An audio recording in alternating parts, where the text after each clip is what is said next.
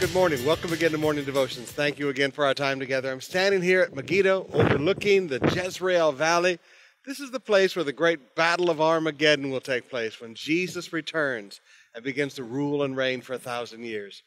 But I want us to go back now to his time on earth 2,000 years ago. In Mark chapter 8, beginning with verse 11, the Pharisees came and began to argue with him, seeking from him a sign from heaven to test him.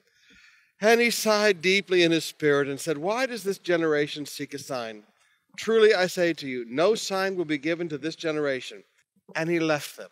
Three of the saddest words that you can read in the Bible. And he left them. Now he's just arrived. He'd just come into this district. These people come up and begin to do nothing but argue and debate with him. And he just leaves, got into the boat again, and went to the other side. Now, sometimes there's a leadership principle that we need to deal with. Sometimes you just need to leave. I mean, he told his disciples if people don't receive you, dust off your feet and go to the next town.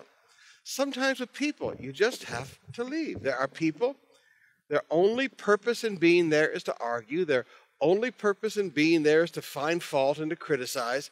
You, you can't accomplish anything in an environment like that. And not because of you as a leader, but because of their hearts.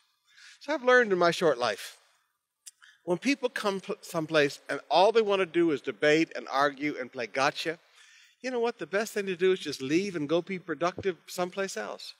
As a leader, you don't have to stand there and face all of the, the nasty attitudes of people who don't want to learn. Sometimes you just need to leave. Sometimes you visit a house and you're there with a good heart and you want to help people and they don't receive you. Sometimes you just need to leave. Sometimes you're doing a crusade and people aren't there. They're just there to criticize and find fault and play gotcha. And sometimes you just need to leave. Jesus was clear. If you're not received, if the ministry is not received, don't get in a fight. Don't get mad. Don't get bitter. Don't get angry. Just leave.